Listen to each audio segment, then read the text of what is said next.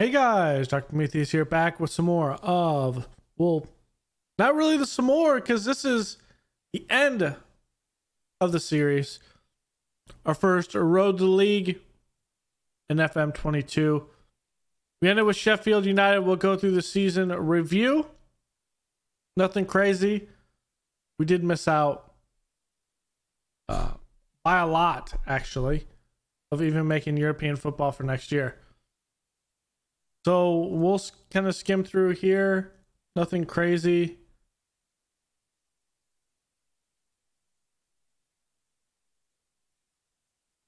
We aren't really worried about what feelings of the managers in FM22.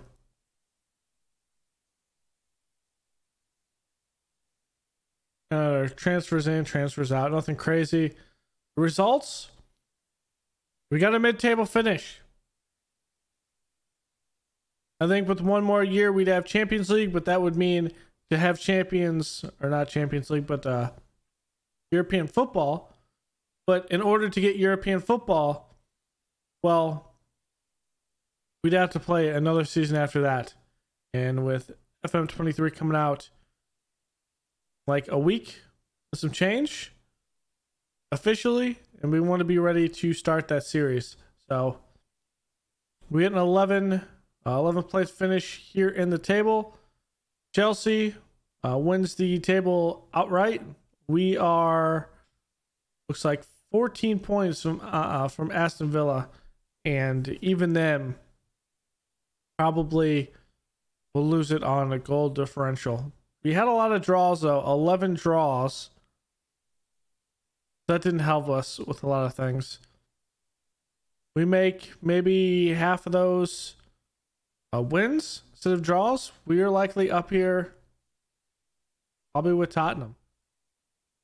Europa League, I mean, Juventus. We let this goal off a mistake by the keeper, off my tactics. Then we lose this, and again we give it up. A late goal, and allow us uh, to actually go into a penalty kick matchup where in penalties anything can go. We allowed that goal in extra time. FA Cup, I mean, Manchester United, we drew them first and they just dis- destroyed us. I mean, it doesn't look that way in the score sheet 2 1, but they just, they were, I'm surprised they didn't actually score four goals on us there. EFL Cup. Mr. Postman. I think this was the game we hit the post like four, five times. It's Reading. Just couldn't convert those into goals. And the Community Shield is just a fun little thing.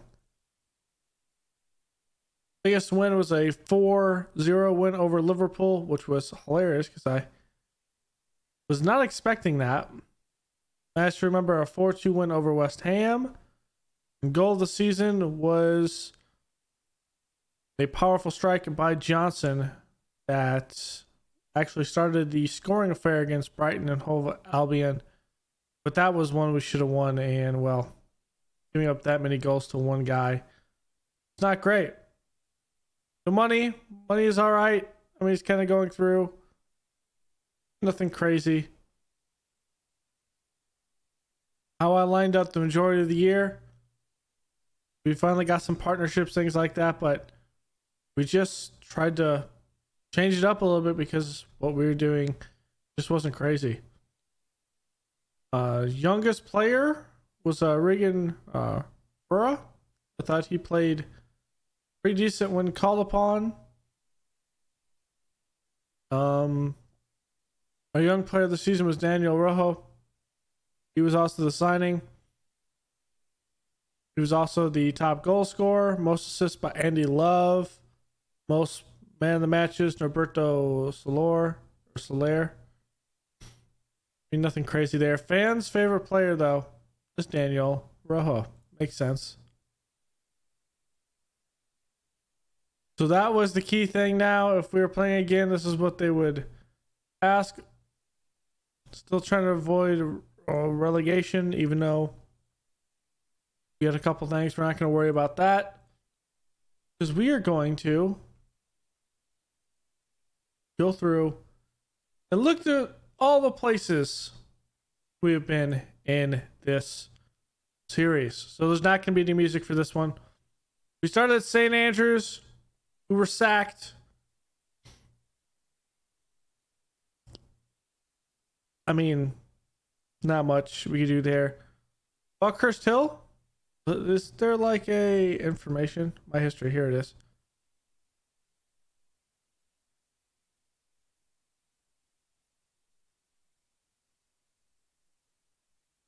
Like a milestone. Here we go. So we were hired there. We got fired pretty much the following year, September. Uh, Buckhurst Hill, we took that job in December. We got a couple managers. We got our season run up there. In 2025, we won the league there. I think that was a. Oh, we didn't win the league there. We actually got promoted. Or no, we did win the league there because if it was promoted, it would say that. So we won the league there with Buckhurst Hill. We got the manager of the season. Following year, we take Buckhurst Hill and get promoted off playoffs. And then we resigned as head the following year in November to take over the position at Dartford. At Dartford, we come in, we get promoted in two years later after being head coach. Taking that one. I don't think if with Buckhurst Hill, can we look at we can. So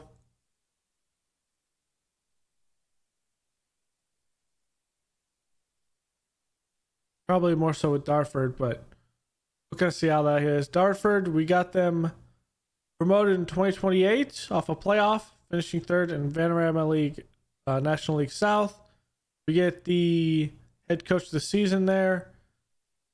Following year, uh, two years later, we get promoted there up into Skybet League 2. Then we get an FA trophy, trophy winner. Nice. So, another trophy there. And we had the league uh, coach of the year. And 2032. So another two years later, we finished third in the Skybet League 2. There were three promotion spot. We got promoted there. Go up to League 1. We win the EFL trophy in 2033. It gets us the job here at Sheffield United in a mad dash of trying to get something going in our final season. We do win the FA Cup, which gives us European football, but we do absolutely nothing with it. Here's our managers here. All of our transfers. Wow, that's all of our transfers. All of our job changes. All of our competitions.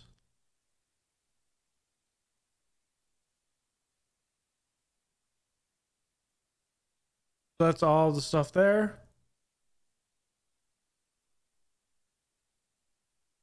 there any uh here it is the competitions so that was eastern league that was a division win we had the Vanarama, this is the FA trophy. So we got that there as finished first. EFL trophy there. So it kind of sees how we did. We kind of had a wave up and down. St. Andrews was a mid table and then uh, 20th and get fired. Uh, then 10th, 2nd. Then technically the under 23s, we took charge of that because that was created then in the under 18s. Buckhurst Hill, we get first.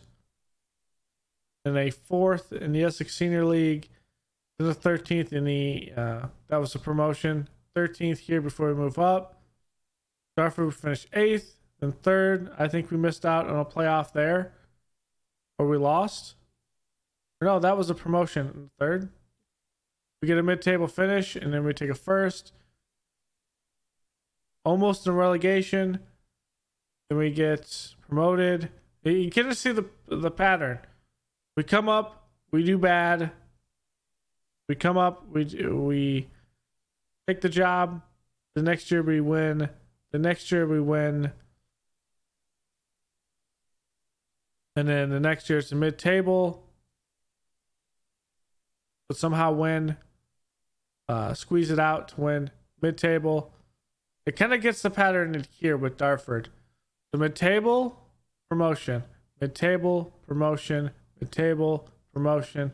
Mid table, promotion. But Dartford actually didn't get promoted in this one. Here, did they get promoted this year though?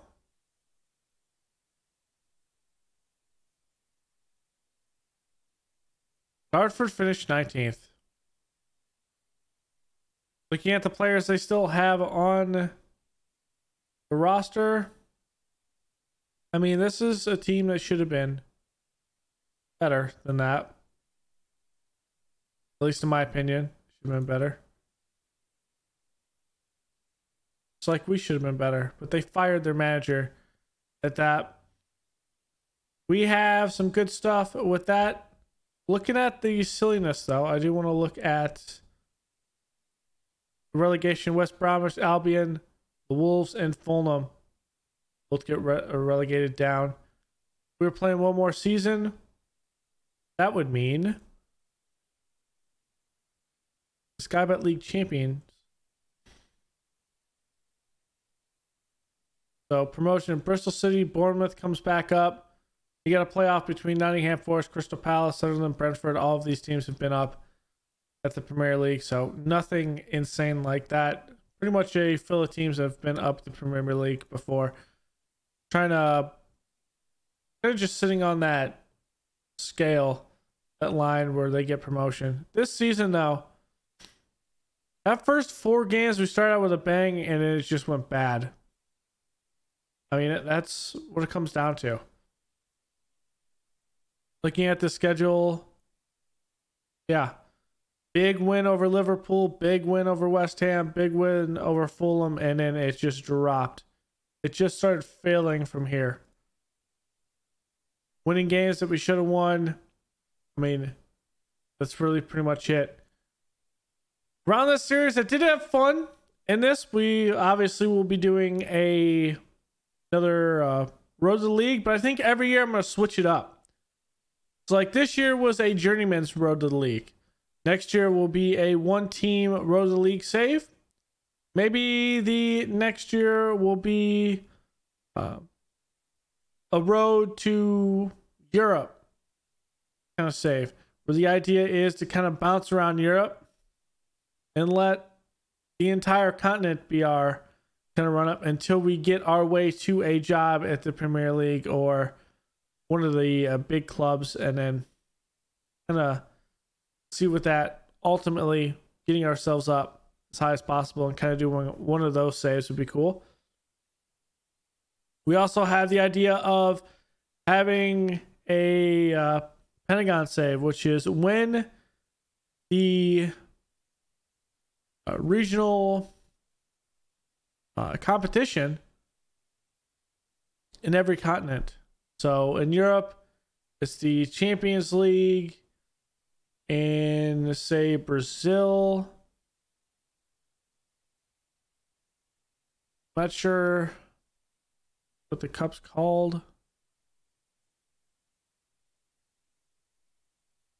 See the competitions.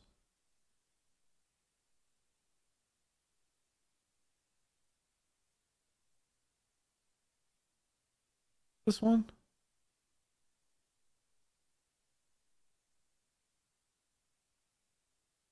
Do they not have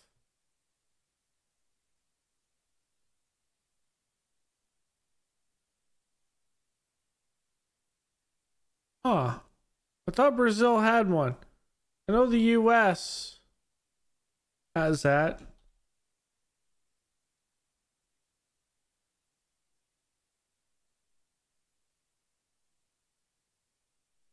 Really? Give me Mexico. They play against Mexico. Give me Mexico.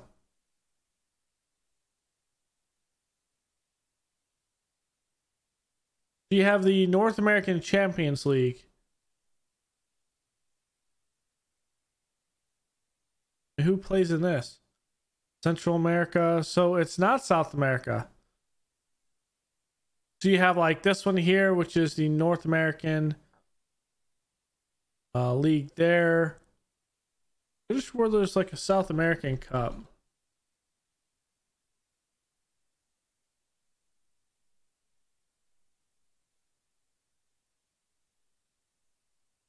That's a National League.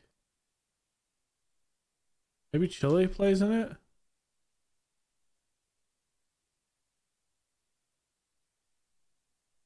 I always thought there was. I could be wrong.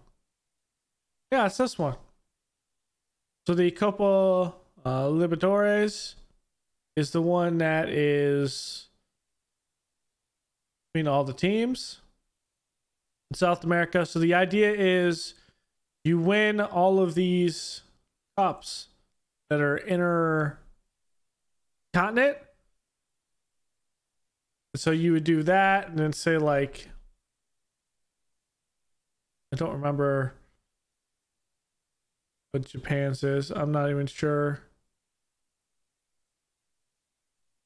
It's the Asian Champions League there.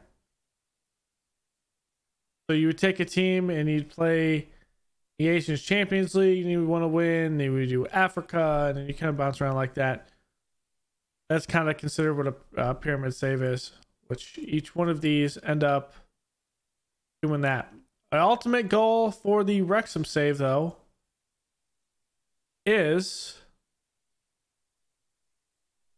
none other than was it FIFA Club? FIFA Club World Cup is to win this champion uh, this this uh this which means you have to win you have to get up in the table you have to win the Champions League in Europe. Then for the Champions League, then you come over here and then you got to play it. So it's a three year struggle of things to get to this. So that's going to be a goal in the Wrexham save. It's going to be a goal, obviously, in the Austrian one, but that one will have a little bit different rule set because it's a lot easier to operate in Austria and it's going to be a lot more fun. Thanks for hanging out for the series, guys. Uh, we still have our beta saves going on. We have everything with the stream as well, the stream franchises. We have all that. So there's still going to be some more football manager for you coming up. So thanks for hanging out. Let's bid farewell to FM 22. You were good to us, but now it's time to completely transition to FM23. Thank y'all for joining me. Go leave a like below, comment, and subscribe, and I will see you guys next time. Later.